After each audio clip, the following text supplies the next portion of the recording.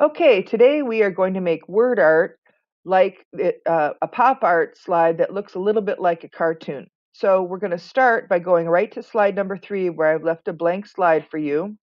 I touched that number three there. And the first thing I'm going to do is I'm going to add a background and we have type right up here that says background. If that's not showing, you might need to flip this.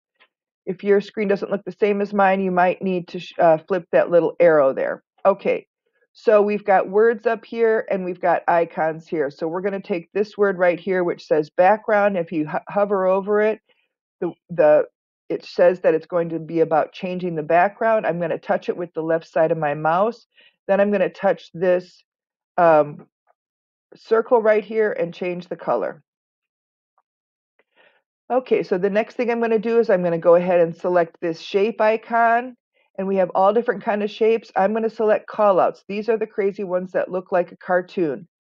So I bring my mouse little cursor, the X, the cross there up to the left side of my screen and I touch the left side of my mouse and I drag it all the way to the right and then let it go. That makes it as large as possible. So that's a hard thing to do.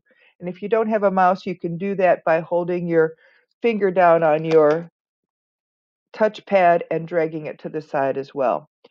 Okay, so next thing I'm going to do is change the color. I'm going to go ahead here and touch the fill color, this one that looks like a bucket with water or paint dripping out of it.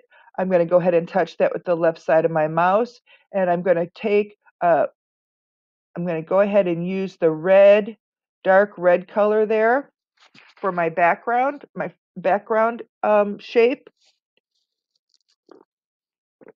The next thing I'm going to do now is go ahead and add another one of those callout shapes. I don't remember which one I chose the first time, but I'm going to set my cursor right in the middle here and make it a slightly different shape. I think I chose the first one.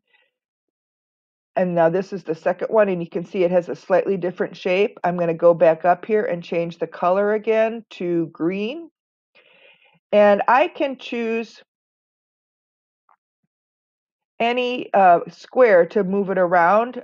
That was a trick I've showed you in the past. But the other thing we can do is we can, when when our when we're in the shape, what's happening is, is we have a blue box around it here, and that is telling us that we're working with that shape. Now, if I go in and I touch this red shape over here, now a different blue box shows up, and that means we're working on that shape.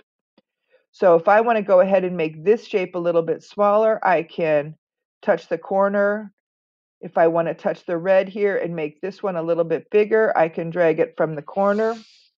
I can touch the green again and I can move it around.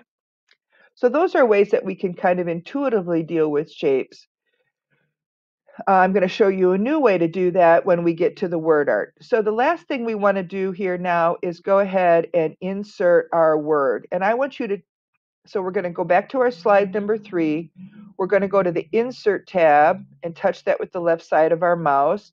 Then I'm going to go down to this one. There's A that says Word Art. This is a little bit different than using a text box, but it's somewhat like it. So I'm going to touch that, and a different kind of text box comes up. And this kind of text box is cool because what it does is it allows us to do all kinds of uh, it opens up a little program that we can actually manipulate the word art with. So I'm going to want you to choose a simple word that's three or four letters. We can do wow or cool or hot or super that has five letters or uh, pow or wham. So those are some examples. You can write those. You can pause the video and write those down if you want to choose one of those, or you can use your own word. I'm going to go back and use wow, and I'm going to do a capital W O W with, uh, W with an exclamation point. And it says right here, use enter to save. So I'm going to press the enter button on my screen. Now I have the word wow. So you can see here it looks a little bit different than the one my, in my sample. That's because I haven't changed the font yet. So what I need to do now is touch the word and my blue box comes up. That's telling me that I have that I'm working with this word as a shape. And now I see this right here, the word Arial comes up, or another word would come up. And if I hover over it, the word font. Font is the is means like face, the face of your type, what your type looks like. And this type is called Arial. But if I go down, I have all these different typefaces to use, and I I don't know which ones you're going to see, but you can choose any one of them. You can choose lobster, or you can. I still have my blue box up, so I can change it a different color. I can choose permanent marker. I can use Kaushan Script. Ooh, that's a neat one. I'll try that one today. So now I want to just move, uh, play around with my um, word, and I can move it when I when my four arrows are up like that. That I can touch the box and move it around any way I want.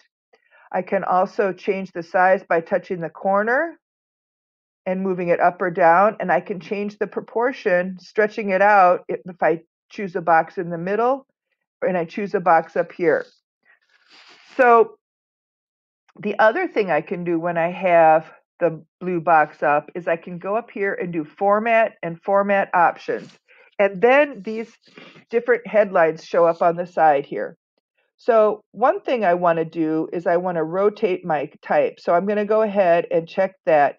Here we see size and rotation. Now another way to change the size, I just did it before by touching the, the squares. I can just move the little arrows by the numbers here and I can change the width or I can change the height. If I want to lock the aspect ratio, that means I'm going to be, both sides are going to change at the same time. When I change one, they change both. So the proportion, lock, locking aspect ratio means the proportion of the height to the width will stay the same. The next thing I want to do is I want to rotate, and this says the word angle right here, and there's the degree button. So it's turning the word on various degrees of an angle. And this is how many degrees, one, two, three degrees, seven degrees. So I'm going to go ahead and rotate that to have it be kind of on the same angle. I can, it looks like I can only go to the right with that. There you go. The last thing I want to do is I want to go ahead and add a drop shadow. So I'm going to go ahead and check, check that box there. And you can see a very thin drop shadow around the word. But now what I want to do is, if I move this bar right here to the distance, look, the drop shadow falls way down. That's kind of cool. And the blur radius is how blurry or crisp the the line the line is. So I'm going to go ahead and just leave it like that. So now I've got my wow with a drop shadow. I'm going to go back and touch the green shape and I'm going to put a drop shadow on that one as well. I'm going to do the same thing. I'm going to go ahead and drop the,